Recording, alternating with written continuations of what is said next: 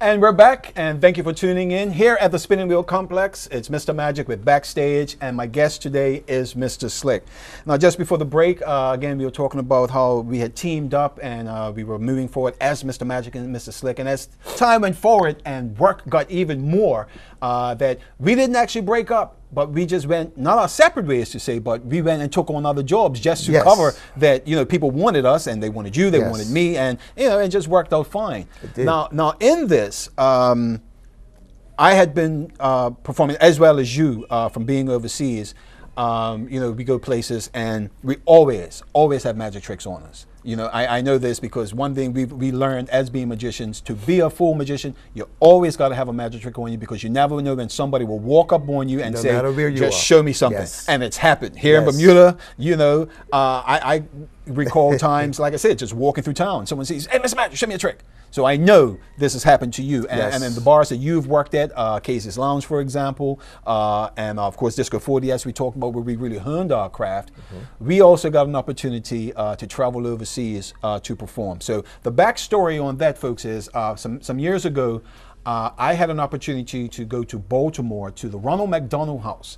Uh, if you all don't know what that is, that is like a halfway house for folks that go to the uh, the hospital uh, there in Baltimore, which is John Hopkins. Yes. Uh, this is where the children stay and the families stay uh, before they transition into the hospital. You're talking about kids that are getting uh, brain surgery, uh, the Cancer cancer treatment, treatments, and leukemia. leukemia, and all sorts of things. So I had an opportunity to perform for them.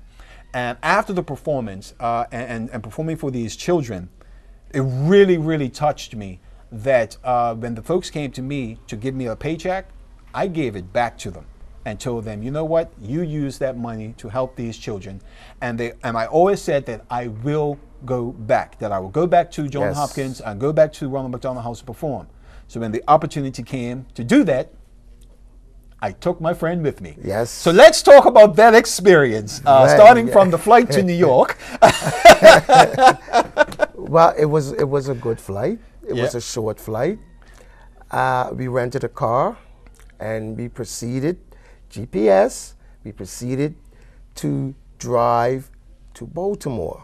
Wow, folks, let me tell you. Sometimes GPS and the turning you're supposed to make really does not match. We ended up in neighborhoods that we thought we was not going to get out of. oh yes, uh, yes, yes. unlikely, there were some good people in that neighborhood who showed us the right way. Basically, told us get out in a hurry Yes. because we did not belong around there. Yes. Uh, this one, the one Jewish, when we in that Jewish neighborhood. yes. That I, I must say, that gentleman was very, very kind, and uh, you know, the look in his eyes told us everything. He's like, "Well, you are lost, but you need to get out of here now." You know, and directed us to, and uh, you know, to and he directed us the right way. Uh, we made that journey.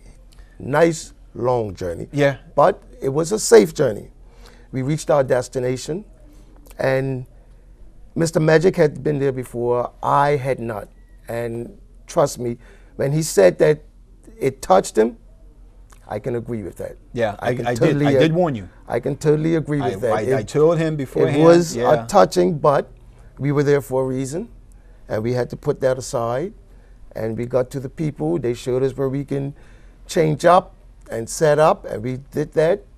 They brought the kids and the parents down. Now, one thing I must do is I also must thank tourism, Bermuda Tourism, because I went to them and they gave us the little Oh yes, the, uh, the trinkets and the bracelets and, and different kinds of things. to take Bermuda the- the pins, coloring books, and crayons, and the kids went wild over that. Yeah. Uh, with as, as lo- along with our performance, the kids they loved us. Yeah. They actually loved us, and it was a good to do something. And people say, "Well, who gave you the idea? Why why did you guys do that?" And I said, "Well, we talked about it, and we decided to do something from the heart, and that's what we done." Yeah, and we did that. Now, uh, I said earlier, uh, off off camera, that we were going to throw somebody under the bus. Okay, a good friend of ours, very Yes. good friend of ours. Uh, uh, getting into Baltimore, we had made arrangements to stay uh, with a friend of ours in, in Baltimore, Mm-hmm. so we could stay there, and then we can go back to New York. Uh, you know, the, um, and for a couple of days, you Yes. know, and go back to catch our flight. Uh, we were at the venue, we had finished, and we were standing out in the parking lot. We made the phone call. And it's it's so funny because we were all planning. We were Mr. Magic and I was planning on where we were going to go that evening with this friend. What we were going to go out and eat to dinner. We were going to take him out and have a good evening, boys' night out. And when we called him after the show, his answer was, "I'll call you right back." We waited a half an hour. We called him back again, and his second reply was, "He was in Bermuda." He had never left. he had ne- he left us stranded in Baltimore.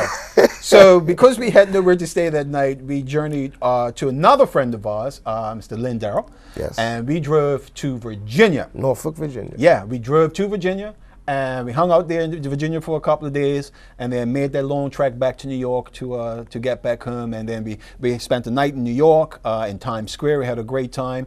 And again, while we're there, magic tricks on us, performing places Everywhere that we we went. go. Uh, Planet we Hollywood. Planet Hollywood, in Planet Hollywood, doing tricks at the bar. You know, uh, you know, for the folks there.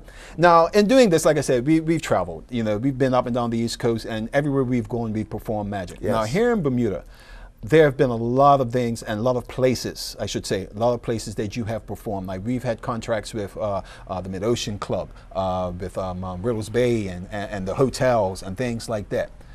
Do you see or do you feel that, as far as the hotel industry is concerned, do you feel that there is a place for uh, a magic show to be in the hotels on a regular basis? Most definite. Most definite. And I still say to myself nowadays, why doesn't Bermuda have a magician in the hotel? I've seen in the past years, and Mr. Magic can vouch, we've been through to the uh, film festival to put our portray our magic to them to be in the film festival. We've been to hotels and said, you know, we would like to be hired. We would do a show for free, and if you like it, you can hire us. They did not hire us, but they would bring in a magician.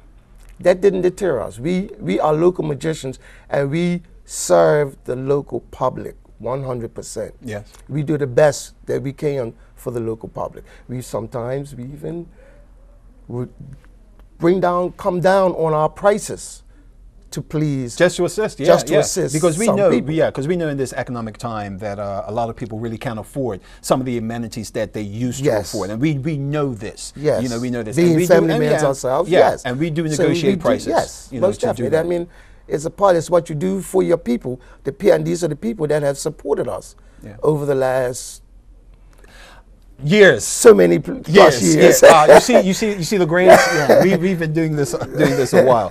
Now, and again, let's get back to uh, to the magic and, and your, your your process uh, of continuing on in this craft, in this art form.